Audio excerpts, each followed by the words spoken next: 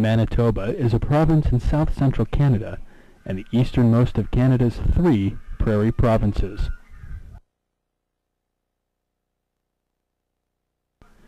Winnipeg is the capital and largest city of the province of Manitoba. And it is here, in the city of Winnipeg, that 70 years ago, Fisher and Clara Loffman gave birth to their second child, a boy, Morris David, brother to Florence. Morris was born in Winnipeg on July the 15th, 1930. My parents had just immigrated from Europe, that is from Poland, two years previously. They arrived just as the Great Depression hit the economy of North America. Within a year of their arrival, they brought my mother's teenage brother and sister. So, with five mouths to feed, my mother, upon learning that she was pregnant, was very apprehensive. My father tried to calm her down and tell her that they will manage. Just prior to Morris's birth, my father plunged into his own business, the cattle business, buying and selling livestock. The day Morris was born, he made a fabulous trade, and he came to the hospital to visit my mother and announced to her that this baby would be a very lucky baby. Little did they know at that time that their son would grow and learn and become one of the leading neurosurgeons in the San Fernando Valley of Los Angeles, California. Along the way, he would influence many with such things as his political savvy, running for president of his school class and making strong impressions on Habonim, not to mention all the mischief he and his cousins got into after school. After a short stint at the Aberdeen School,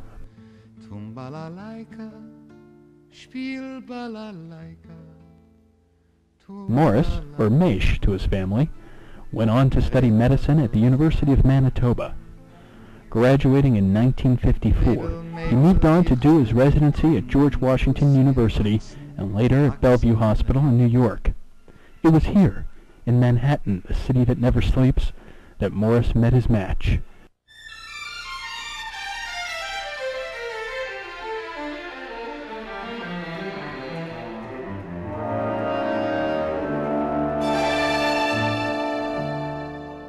The falling leaves drift by the window. The autumn leaves of red and gold. I see your lips. The summer. And on April 12, 1959, he married Sonia Novak of Flushing, Queens.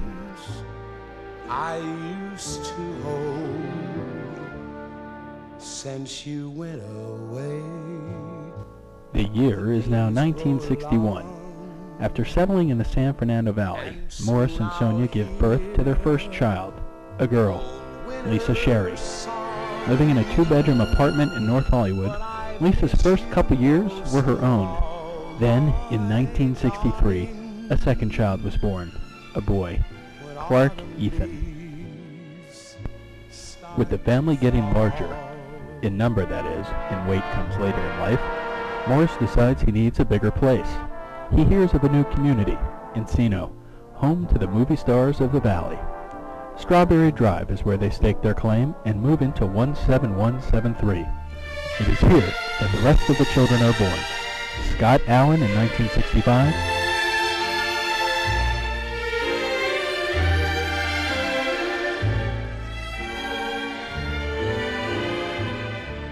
Since you went away. And Rena Letha in 1966. Days grow long, and soon I'll hear Determined to give his children the best Jewish education he can, Morris sends his kids to the Emek Hebrew Academy.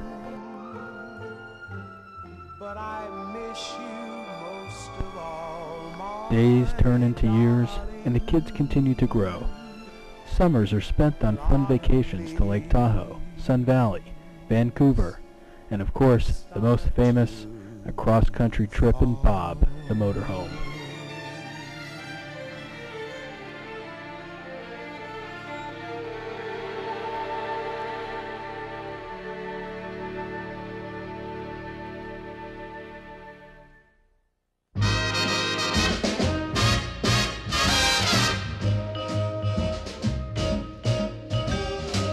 You make me feel so young you make me feel so spring has sprung. And every time I see you grin, I'm such a happy individual. The moment that you speak, I wanna go play hide and seek. I wanna go and bounce the moon just like a toy balloon. You and I are just like a couple of tots running across a meadow, picking up lots of forget-me-nots. You make me feel so young. You make me feel there are songs to be sung, bells to be rung, and a wonderful fling to be flung. And even when I'm old and gray, I'm gonna feel the way I do today. Cause you make me feel so young. You make me feel so young. You make me feel so spring has sprung. And every time I see you grin. It is impossible to capture every moment on film or video, regardless of how far technology has come in 70 years. There's no way to record every laugh, every tear, or every smile. However, what is certain is that over the years our dad has touched the lives of hundreds of people, not only those whom he has saved on the operating table, but those close to him, his wife, his children, his grandchildren, his family, and his friends.